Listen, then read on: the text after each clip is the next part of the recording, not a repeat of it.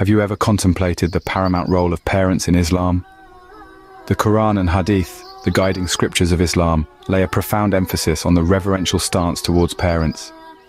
Let's begin with the Quranic verse from Surah Al-Isra, chapter 17, ayah 23, where it is said, Your Lord has decreed that you worship none but Him, and that you be kind to parents.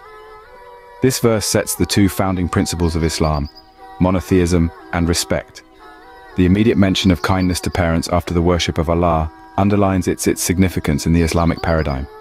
Next, we refer to Surah An-Nahl, chapter 16, ayah 96, which imparts, and we have enjoined upon man, to his parents, good treatment.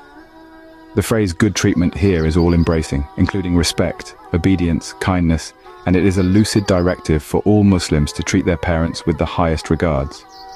Now turning to Hadith in Sahih Bukhari, the Prophet Muhammad, peace be upon him, was asked, Who is most deserving of my good company? He replied, Your mother, then your mother, then your mother, then your father. This hadith emphasizes the importance of honoring our mothers. Moving on, yet another verse from Surah Al-Ankabut, chapter 29, ayah 8, enforces the same principle. It states, And we have enjoined upon man goodness to his parents. The message is transparent and consistent, Goodness towards parents isn't just an advice, it's a divine commandment, a sacred responsibility for every Muslim. The teachings of Prophet Muhammad, PBUH, in Sahih Muslim also reinforces this. Paradise lies the feet of your mothers. This hadith signifies the esteemed status of mothers in Islam and the rewards of their treatment.